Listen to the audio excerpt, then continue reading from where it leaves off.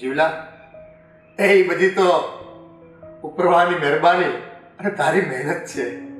અને એટલે જ તું આજે ભણી ગણીને શહેરમાં જઈને મોટો ડોક્ટર થઈ ગયો છે. જીવલા તે તો ભણી ગણીને આપણા આખા એ ગામનું નામ ઉજળું કર્યું છે.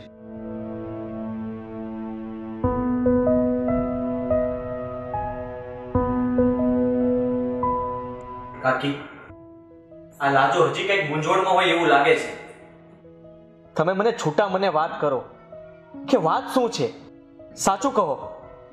અને હું પણ આ ઘરનો સભ્ય જ છું ને.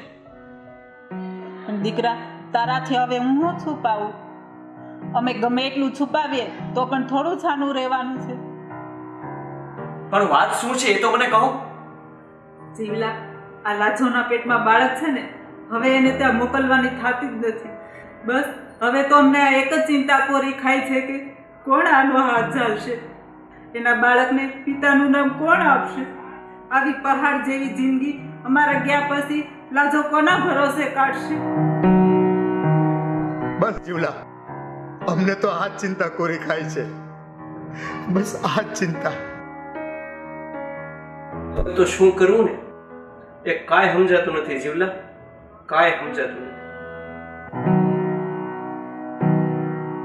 મારા મા બાપ તો નાનપણથી જ ગુજરી ગયેલા. મને યાદ પણ નથી કે કેવા દેખાતા હતા. અને મેં તો મેં તો હંમેશા તમારા બેમાં જ મારા મા બાપ જોયા છે. આ તમે તો મને જીવનદાન આપ્યું. અને મોટો કર્યો છે મને. ભણાવ્યો ગણાવ્યો.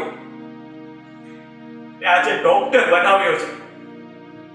ને આજે હું જે કંઈ પણ છું ને, એ તમારા બંનેના પ્રતાપે જ છું. તમે લોકોએ ખૂબ જ ભોગ આપ્યો છે મારી પાછળ. અને એ ઋણ તો હું મારી ચામડીના જોડા કરીને તમને પહેરાવું ને, તોય ના ઉતારી શકું.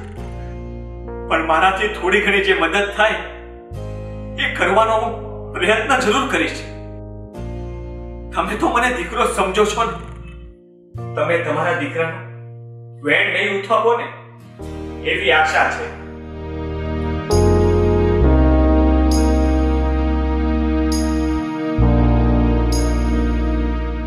કાકા, કાકી.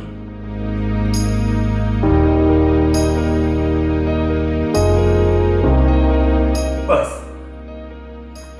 હવે તમારે એટલું જ કહેવું છે. કે હું લાચો સાથે લગ્ન કરીને એની આવનારી સંતાનને પિતાનું નામ દેવા માંગુ છું.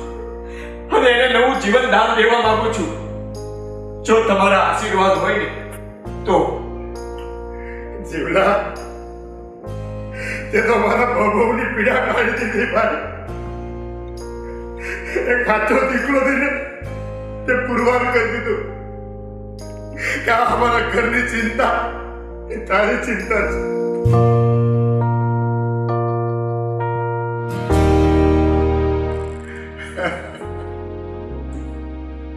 હા જીવલા ઘણું જીવો તમે બે જણા.